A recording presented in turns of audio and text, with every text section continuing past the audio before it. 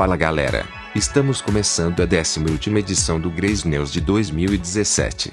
E se essa é a sua primeira vez aqui eu espero que seja a primeira de muitas, já vai se inscrevendo no canal e ativando o sininho. É simples e não custa nada. Estamos quase completando 2 mil inscritos, porém ninguém está ajudando. Ajude-nos a completar 2 mil inscritos, e garantir que este quadro permaneça no ar no ano de 2018. Sem mais enrolação, gostaria de pedir que nos sigam em nossas redes sociais, e gostaria de avisar que amanhã sairá um vídeo à meia-noite, explicando todas as dúvidas de vocês sobre o funcionamento do canal, nesse recesso de janeiro a março. Então fique ligado, e confira como vai ser o funcionamento do Grace News nesses dois meses merecidos de férias. E sem mais enrolação vamos aos destaques. Elen Pompeu vende propriedade pelo valor de 2 milhões. Trecentésimo episódio irá ao ar em 2018. Galera, o site do canal está com um novo design. Corre lá e fique por dentro de todas as notícias de games, séries e muito mais. Todas as notícias deste vídeo estão disponíveis no site do canal. Link na descrição.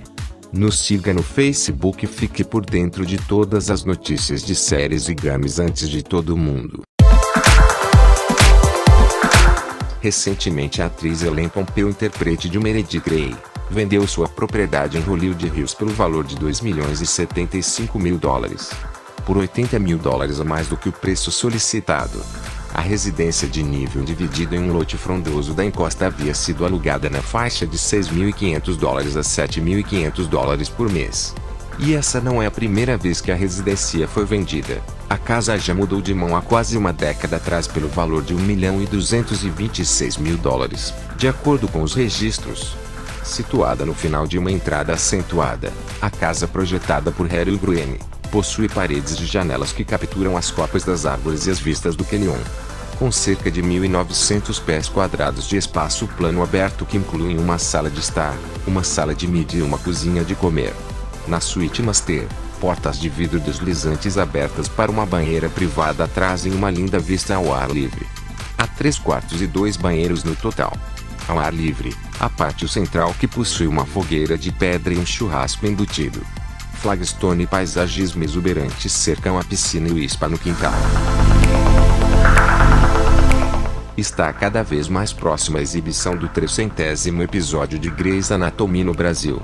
Porém, para os fãs que, assim como eu, esperavam poder conferir o episódio nesta segunda-feira, no canal Sony, vão ter de esperar até ano que vem. Isto porque o marcante episódio da 14ª temporada, que homenageia vários personagens, só irá ao ar no dia 19 de janeiro de 2018. Para compensar os fãs, o canal Sony está fazendo maratonas das temporadas que fizeram mais sucesso, isso inclui as primeiras temporadas.